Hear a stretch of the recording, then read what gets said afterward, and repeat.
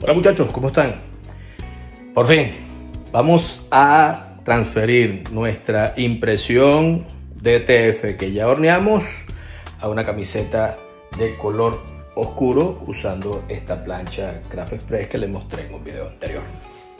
160 grados centígrados por 20 segundos nada más. Yo coloco un papel craft encima para separarlo de la plancha para que no tenga contacto directo film por la plancha a modo de protección. Se retira totalmente en frío. Eso tiene que estar frío, cero calor. Ventilen bien esa camiseta antes de retirar el film y vamos a ver cómo queda. Muy bien muchachos, aquí está. Recuerden que esto va de esta manera el adhesivo está allá abajo. Imprimimos en modo espejo para cubrirnos. Hay que quedarle el dibujo hacia adelante, los colores que ustedes lo puedan ver. No la parte blanca, la parte blanca es la que se va a adherir, ¿ok?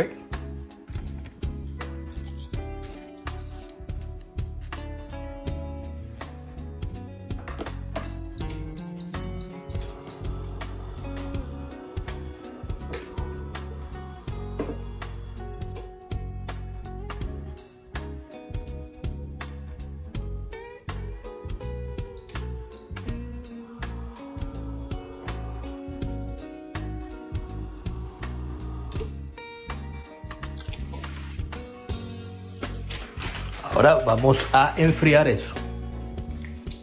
Y bueno, vamos a ver cómo quedó esto. Ya está bastante frío. Cero calor por ninguna parte. Y con cuidadito empezamos a jalar desde una esquina.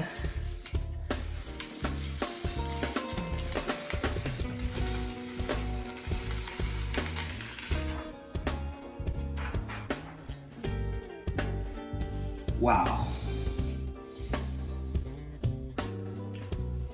Wow. Aquí lo tienen muchachos. La impresión DTF. Totalmente full color. No crean que se ve opaco, se ve opaco con el video. Pero los colores aquí son distintos a lo que se ven en el video, de verdad que sí video se ven los colores bastante vivos, pero esto se ve como si fuera muy opaco. No, no, está bastante, bastante oscuro. Excelente. Deben haber notado unos punticos blancos, que es como un exceso del polvo poliamida.